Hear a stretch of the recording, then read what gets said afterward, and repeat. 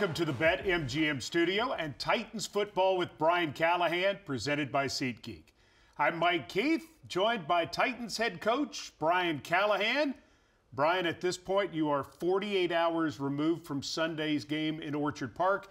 Your final thoughts on the contest in Buffalo? Um, played really well early. Uh, put ourselves in a 10 10 nothing lead on the road in a really tough environment. Uh, couldn't find a way to, to finish the game. Made too many mistakes. Um, just have to find a way to, to clean up our details over the course of an entire game. And uh, a game that should have been closer than it was, but it got away from us in the second half. And um, disappointing because I thought we had a chance to go beat that team at their place, um, but didn't make enough plays, I think, uh, at the end of the day to do it and gave away too many opportunities on our end um, to give ourselves a chance to win. All right, let's take a look now at some topics for Callahan on a couple of themes from Sunday's game. Let's start first of all with the tight ends. Chig had four catches for 50 yards. Yeah, Chig did a great job. He was he found the, some soft spots in the zone. Uh, we found some, some ways to get him the ball. He, he had a really nice uh, sail route early in the game where he won on man-to-man coverage.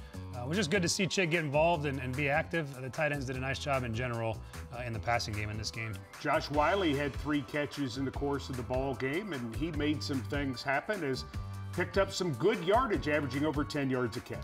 Yep, couple easy easy throw and catches that, that got him into space and, and let his athleticism go do the rest and um, had a chance to get some quick throws in the ball in his hand and, and he did the rest. So it was, it was, good to see him come alive a bit for us too.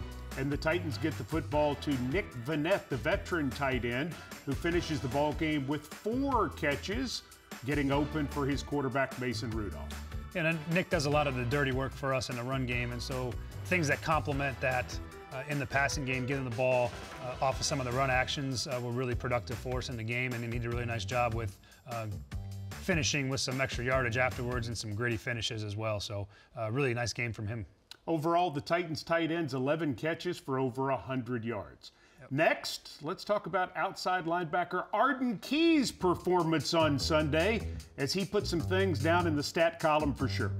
Yeah, he was disruptive most of the game. Uh, this early sack was was fantastic. Uh, he was disruptive in the run game as well. Uh, made it really hard for him, especially early on in the in the run game process when they're trying to get going. Um, he also had a, almost had a field goal block or blocked a PAT. Uh, just phenomenal effort by Arden all the way around, and, and had a really nice game. Arden Key is a guy who's racked up a lot of quarterback pressures early in the season. You go back and watch the tape, and you're like, man, is he close? He finally got home on Josh Allen. Yeah, and that's one of the things we, we got to keep harping on is just is finishing on the on the quarterback. Uh, we've been around them quarterbacks a lot. We've been close. We have to do a better job of getting uh, to them and getting them on the ground when, when need be. So uh, step in the right direction, certainly. Here's Arden Key making the stop on Josh Allen down near the goal line. All right, our third topic for Callahan on. Amy Wells and I had a chance to visit with NFL analytics expert Cynthia Frelund on Monday. We covered a variety of topics, including the dynamic kickoff. Take a listen to this question and answer. With the addition of the dynamic kickoff, there's been a lot of changes, and I would assume there's been a lot of statistical changes as well. What's something that you have noticed about the way that that has impacted the game overall? If I were telling a team what to do right now, I would kick it into the end zone every single frickin' time until I got into a high leverage situation later in the season, and then I would do something weird because they're not expecting it. But you're, you're the where the line yard you're at is five. It's now five yards different than it was before, where you're starting in the average starting field position. So until they make it more punitive to kick it into the end zone, I, I, you're not going to see that. It's just more. It's just you are seeing fewer injuries, which is great. We love that. We don't want any injuries on. You know that was a highly injured part of the game, which is wonderful. And you're also seeing like I, I just don't think we've seen the true strategy of it yet. Like we will see. There will be like some weird week 10, something weird's gonna happen where a team that's maybe potentially playoff eligible. So look for these like historic coaches that have like special teams backgrounds. Like look at the Harbaughs. Look at um, you know, uh, Sean Payton, guys who have like historically showed us things that are like, oh damn, that is that is you got you got me good there in special teams specifically. All right. Brian Callahan, Cynthia Frelund, pretty knowledgeable. She understands all the analytics. Yep. Do you do you think somebody's going to uncover a way to utilize the new kickoff rule as we head down the stretch? Um, it's going to be interesting to see. There's there's been a lot of a lot of news and first and uh, experiences that no one's had before with with the new rule, and it's it's been kind of up and down depending on the team and We've had some spots that it's been good. We've certainly kicked the ball out, out, of the end zone most of the time. The issue that you have is, you know, you go play up in Buffalo, you know, the one end zone is going to be all wind, and so you're going to get returns. Uh, it's just making the most of those returns. But I think most people are kicking in the end zone right now, and uh, there will be an opportunity, I think, at some point down the stretch for one of these plays to be game changing. All right, that's Callahan on. Up next, a look at a league wide initiative hitting home for a Titans player in his second season. More Titans football with Brian Callahan from the BetMGM studio after this.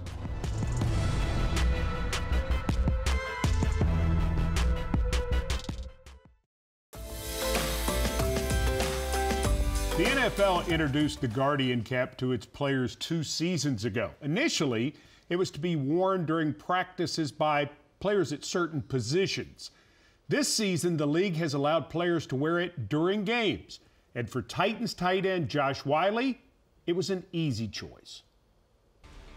Josh, you're one of the players in the National Football League who has decided that we're not just going to wear the Guardian caps during practice, we're going to wear them during the game as well. Um, what was your primary motivating factor for making that decision? Well, I had a concussion in training camp, and that's kind of where it started. And then once I realized, I learned after that that guys could start wearing them in the games. Um, I thought it'd just be a great opportunity, um, you know what I mean, for myself and my own health. But also, I think something that goes into it too is hopefully other guys around the league start to see it. Hopefully, you know what I mean, in two, three, couple years, whatever it is, uh, you start seeing it more across the league. Does it really have any impact on the way your helmet feels on your head or the way that you play in a game or anything like that? I don't feel it at all. Uh, some guys say it feels a little heavy, but I don't feel nothing, so yeah, it's just a bonus, I guess. Second and one at the 40.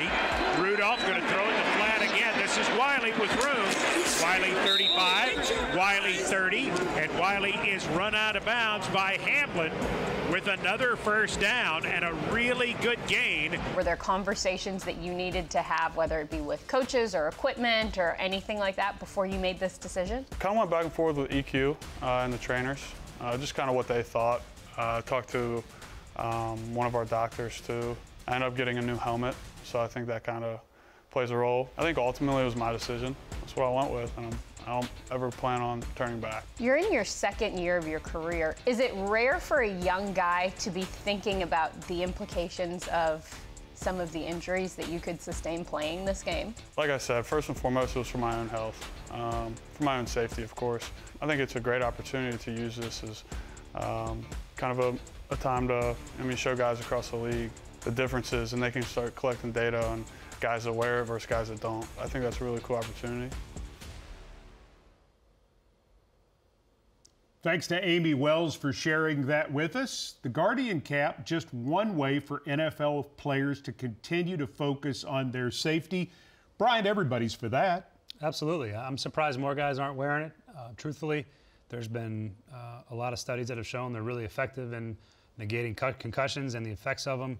And for those guys to have that option, I think it's great that Josh is taking advantage of it. And the nice part, too, for these current NFL players they started wearing guardian caps when they were in high school. And so mm-hmm. when they came into the NFL, it wasn't that big a deal in terms of an adjustment. Yeah, there's no stigma for them. They mm-hmm. don't see anything different. They just see it as another way to protect themselves and uh, might as well take the opportunity that they're offering it. Uh, why not protect your head and your brain and uh, allow yourself to play football at a high level and one less thing to have to worry about as much. And gets Josh back out there. Do you like having him as part of the lineup? I certainly do. Yep, Josh Whyle coming up with some big plays. Hey, by the way, let's stick with the tight end theme. We're headed to the telestrator to review the Titans tape next. More Titans football with Brian Callahan, presented by SeatGeek. Stay with us.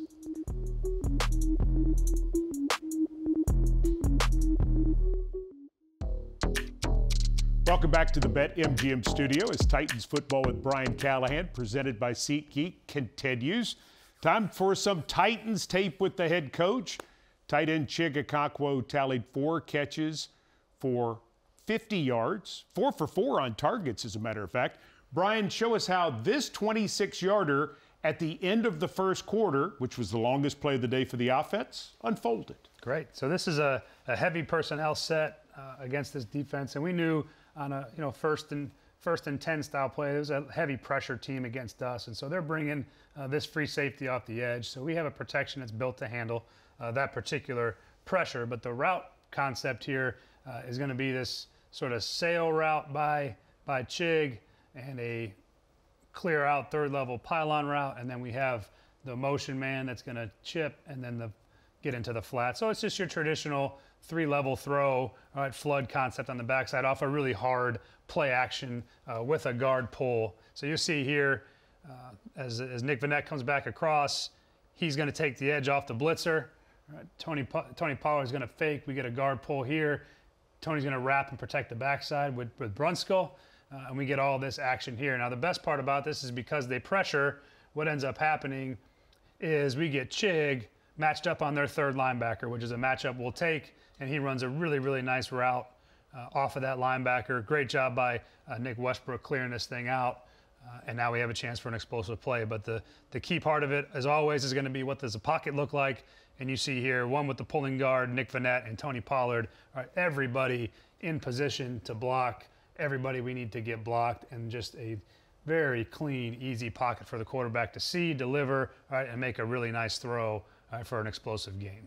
26 yards on the play for the Titans as they get into Bills territory. As you go back and look at this too, mm-hmm. talking about Brunskill being here and having an opportunity to give you that extra offensive lineman is it always about protection with him in the game? No, usually it's a lot about the run game, and that's why we, we package things the way we do. And he's involved in the run quite a bit. Um, but this was one of those chances we took uh, with sort of a run motion as well to marry up those things, to marry up some of our run game. Uh, we're a heavy gap scheme team as it is. And so now we get our, our pulling guard here as well with the motion across. All these things should tell the defense run, particularly with Brunskill in. Uh, he's obviously not going out for a pass yet. Um, but that allows us to get that sell. And so you see just the reaction from the defense. Uh, everything to them feels like run. So you get you get everybody's in the line of scrimmage. The blitz is off the edge. And now we just get these pure one-on-ones down the field in this particular coverage structure uh, to allow us to get an explosive play. But really a great great marriage of the run and pass game personnel. You know, with all these guys that are usually in here when we're running the football, um, Brunskill being a large part of that. It's a really good route by Chig too. It is. And when you look at his route, you just see he feels, he knows he's got man coverage and we're into the boundary. So what he does a really nice job of is you see Chig understanding the leverage, he beats him, and then he squeezes him to stay on top. So as he gets in here, he starts to squeeze back to save space and then makes the break, and it allows this defender to see, uh, as you see, get all off balance and unable to cover the break on the cut. Chig's hard to cover for any linebacker. Speed and quickness there for Okonkwo. Again, four catches, 50 yards on four targets overall. The three tight end package gives you more versatility in terms of play call than most people would think. They would they would normally think just it run. It does. It, it, allows us to have a little more versatility, um, put some guys in position to get some matchups like we did there against you know our, our better tight end receiver against their probably third or fourth linebacker. Um, that's a matchup we'd take every time we can get it. Um, and so was, we were thankful that it worked out that way. Well, we're thankful you showed it to us. Yeah, Thank you. you All right. We've got more to do. We'll introduce you to Ramonda Jordan, the wife of Titans running back coach Randy Jordan, who was honored as the team's 12th Titan before the last home game. That's up next. Titans football with Brian Callahan. We'll be right back.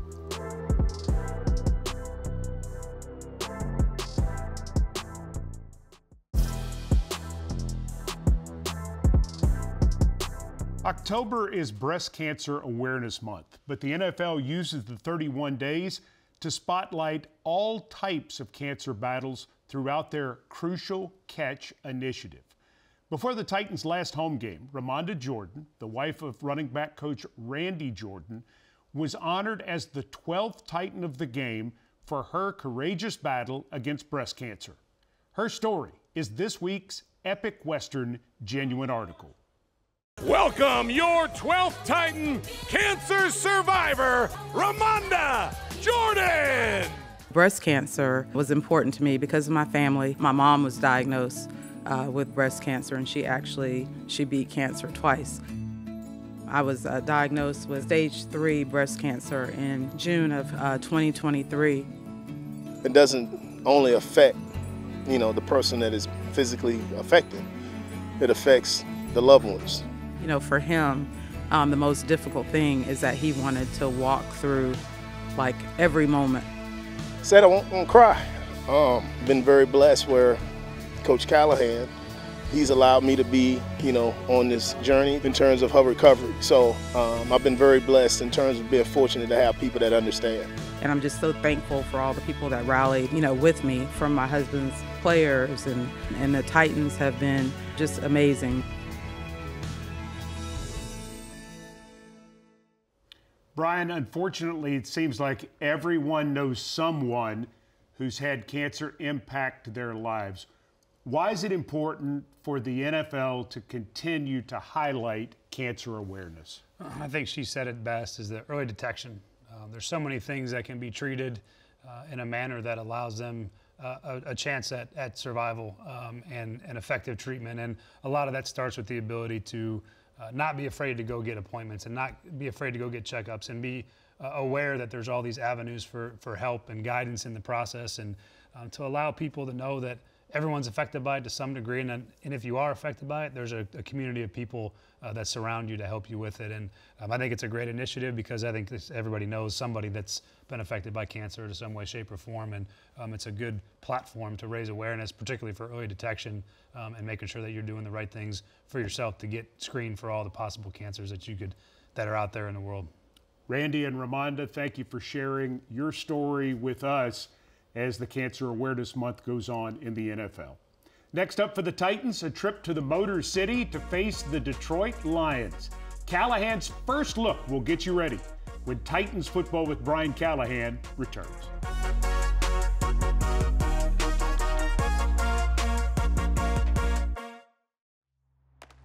This is a city of grit and grace. For dreamers and doers a city with music in its soul and ice in its veins. A city built by Titans. Callahan's first look, presented by Nissan. Here we go. The Detroit Lions are 5 and 1 and playing solid football in all three phases of the game kind of quarterback is your team facing in Jared Goff, coach? Uh, he's playing probably as good as any quarterback in football right now, just in terms of efficiency, finding completions. Uh, it feels like every game I look up and he's got like four incompletions. You know, they've done a great job of finding their playmakers. He deals the ball. Uh, Jared's, I think, an underrated quarterback. He is probably playing as good as the position as good as anybody in football right now, um, and a large reason why they're they're five and one and, and playing fantastic. A lot of weapons on that offense. The Lions have a two-headed monster at the running back position. What do David Montgomery and Jahmyr Gibbs do so well? Uh, what a great compliment skill set wise, you know, with Montgomery being the hammer and um, and Gibbs being the, the change of pace runner, and, and both of them are capable of scoring. Um, they run hard, they run disciplined, um, and they're both dynamic with the ball in their hand. Gibbs is, is one of my was one of my favorite players coming out of the draft uh, a year or two ago, and he has lived up to every expectation. I thought he would be able to perform in the NFL. He's been uh, absolutely fantastic, uh, both running and catching out of the backfield and making people miss. He's just a dynamic, dynamic football player. Speaking of a two-headed monster, the Lions also have one in the defensive backfield with safeties Brian Branch and Kerby Joseph. What challenges do these guys present? Well, you, they, they play really well together. You know, they're always around the football. They're really intelligent players. They anticipate like quarterbacks anticipate. They find zones, they find the soft spot, um, and they break on the football knowing where the ball is going to be delivered. And um, it's a rare combination to have guys like that that both play at such a highly intelligent level uh, and then have the skill set to go get it done. And um, again, their, their turnovers are a huge reason why they're 5 and 1 and playing so well on defense is um, they're taking the ball away and they're in the right spots. They're both always around the football. Those two safeties have all eight of the Lions' interceptions this season. That's Callahan's first look, presented by Nissan. The Titans face the Detroit Lions on Sunday. You can listen to the broadcast on Titans Radio. Our coverage begins with Titans countdown at 11 a.m. Kickoff is set for 12:02 from Ford Field. Titans Lions this Sunday on Titans Radio. For Coach Brian Callahan, I'm Mike Keith, thanking you for joining us, and we'll see you next week.